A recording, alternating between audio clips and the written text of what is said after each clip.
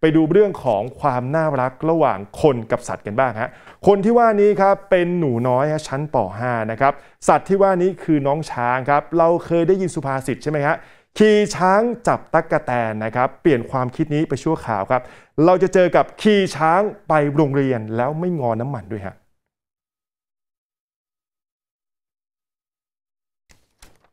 นี่ฮะเป็นไงครับ เปิดประตูออกมาเลยนะครับ นี่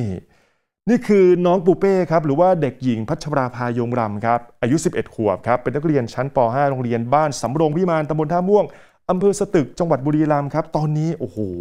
โด่งดังมากในโลกโซเชียลนะครับหลังจากที่คุณพ่อฮะนายวิสัญชนยงรำครับก็มีการโพสต์คลิปของน้องปูเป้ครับขนาดขี่ช้างที่ครอบครัวเลี้ยงไว้ฮะชื่อว่าเจ้าโอเล่นะฮะ ไปโรงเรียนระยะทางประมาณสัก 1 กิโลเมตรครับประกอบกับช่วงนี้อย่างที่ทราบกันดีฮะราคาน้ำมันมันก็แพงพอดีครับ ก็เลยทำให้น้องปูเป้ แล้วก็เจ้าโอเล่เนี่ยได้รับความสนใจนะครับ แล้วก็มีคนเนี่ยโอ้เห็นคลิปแบบนี้แล้วนะครับ โอ้ก็ต่างคนก็รู้สึกว่า เออ มันก็ถือว่าเป็นการหาทางออกที่ดี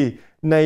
ขณะที่น้ำมันมันกำลังมีราคาสูงแบบนี้นะครับ ล่าสุดน้องปูเป้ครับก็ยังคงขี่พี่โอเล่ไปโรงเรียนตามปกตินะครับ เห็นไหมฮะโดยมีนะฮะทางคุณพ่อและคุณแม่ก็คอยเดินตามไปด้วยนะครับ ขณะที่ชาวบ้านและคุณครูครับก็ชื่นชมในความสามารถของน้องปูเป้เช่นเดียวกัน ไม่แตกต่างจากเพื่อนๆที่โรงเรียนครับก็ตื่นเต้นทุกครั้งนะครับที่เห็นน้องปูเป้ไม่รู้ว่าตื่นเต้นเห็นน้องปูเป้หรือเห็นพี่โอเล่กันแน่นะครับน่าจะตื่นเต้นที่เห็นพี่โอเล่มาโรงเรียนด้วยนะครับแล้วความน่ารักของพี่โอเล่ครับบอกแบบนี้ฮะมันเชื่องนะฮะมันน่ารัก และที่สำคัญนะวันนี้พี่โอเล่ไม่ได้มากับน้องปูเป้นะครับที่เป็นควานช้างอยู่บนนะฮะหลังพี่โอเล่เท่านั้น พี่โอเล่ก็ยังจูงฮะนี่มากับพลายงามโชคนะครับอันนี้เป็นน้องใหม่อายุยังน้อยอยู่ 4 ขวบนะฮะแล้วก็ยังอยู่ในวัยน่ารักเรียกง่าย ๆ เลยฮะกำลังสนนั่นเองนะครับเราก็เลยไปสอบถามน้องปูเป้ครับก็บอกกับทีมข่าวของเราแบบนี้ครับว่าคุณพ่อเนี่ยฝึกให้ขี่ช้างมาตั้งแต่เด็กแล้วนะครับตอนแรกก็กลัวว่าเพราะยังไม่คุ้นชินกับช้าง แต่ทุกวันนี้ฮะคุ้นชินนะฮะแล้วก็มีความผูกพันกับช้างมากโดยเฉพาะพี่โอเล่ครับก็เลยเนี่ยโอ้ขี่พี่โอเล่มาโรงเรียนทุกวันครับประกอบกับช่วงนี้ก็ต้องประหยัดค่าน้ำมันครับที่บ้านด้วยเพราะว่าตอนนี้ราคาน้ำมันแพงนะครับแต่ว่าทุกครั้งฮะก่อนที่น้องปูเป้จะขึ้นอยู่บนอ่าขึ้นไปอยู่บนหลังพี่โอเล่นะครับจะยกมือไหว้ก่อนนะครับนี่เพื่อเป็นการขอขมานะครับ ก็นี่ฮะมีความสุขทุกครั้งฮะที่ได้ขึ้นไปขี่อยู่บนหลังพี่โอเล่นะครับทำไมถึงขอขมาเห็นไหมฮะเห็นงาไหมเห็นงาพี่โอเล่ไหมฮะก็งาเนี่ยฮะถ้าตามความเชื่อเนี่ยก็เป็นอ่าของศักดิ์สิทธิ์ของที่มีพุทธคุณอยู่ในตัวใช่ไหมครับก็เลยว่าถ้าไปเหยียบตรงงานเนี่ยมันดูไม่ดีหรือเปล่า ก็ต้องมีการขอข้ามงขอเข้ามากันก่อนนะครับแล้วยังบอกแบบนี้ครับว่าเดี๋ยวโตขึ้นมาเนี่ยอยากเป็นสัตวแพทย์ จะได้ช่วยรักษาสัตว์โดยเฉพาะช้างครับ และที่สำคัญครับ อยากสืบทอดวิถีเลี้ยงช้างของครอบครัวอีกด้วยครับ มีความสุขไหมเวลาที่เราอยู่กับช้างมีความสุขมาก ๆ เลยค่ะ ทุกครั้งที่ขึ้นนี่ต้องทำยังไงก่อนนะก็ต้องไหว้พี่โอเล่ก่อนค่ะ เพราะว่าอะไรคะเพราะว่าน้องบุเป้ต้องขอขมาพี่โอเล่ก่อนขึ้นค่ะ แล้วเราเรากลัวไหมเวลาขึ้นหรืออะไรอย่างนี้ตอนแรก ก็ตอนแรกๆก็กลัวอยู่ค่ะ เพราๆราะว่าแบบไม่เคยขึ้นช้างค่ะๆพอทุกวันนี้ล่ะทุกวันนี้ก็ชินแล้วค่ะ ตอนแรกๆแหละที่เขาเห็นเขารู้สึกตื่นเต้นหรืออะไรกับเราเขารู้สึกตกใจว่าทำไมขี่ช้างมาค่ะ ความฝันอยากเป็นสัตวแพทย์ค่ะ จะได้รักษาสัตว์ที่บ้านค่ะ เราอยากดูแลพี่ๆช้างไหมอยากดูแลค่ะ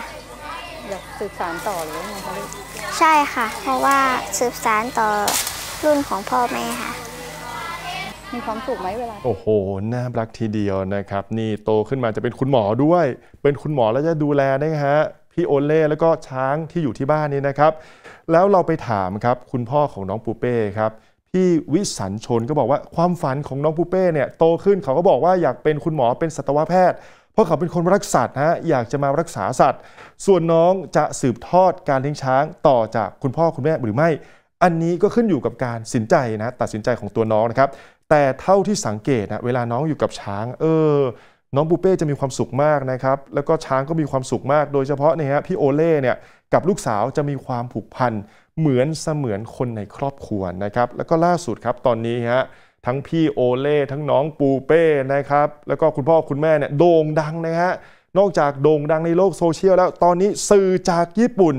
ได้ติดต่อมาฮะขอถ่ายทำรายการชีวิตของน้องปูเป้นะครับ รวมไปถึงพี่โอเล่หรือว่าพลายโอเล่นะครับ ในการขี่ช้างไปโรงเรียนนั่นเองครับ โอ้โห